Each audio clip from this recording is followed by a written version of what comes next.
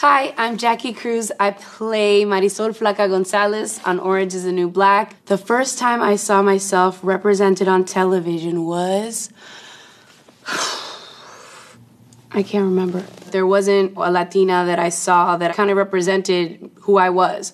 I think it's really important to have representation of yourself. That's why Orange is the New Black is so popular because finally the audience is seeing themselves on TV. And my character Flaca, she is not stereotyped at all. She's just a regular teenage American Latina who lives in the States. Girls come up to me and say, I'm just like her. I'm so happy that I'm finally seeing myself on TV. She connects with a lot of, not just Latinas, with a lot of young girls.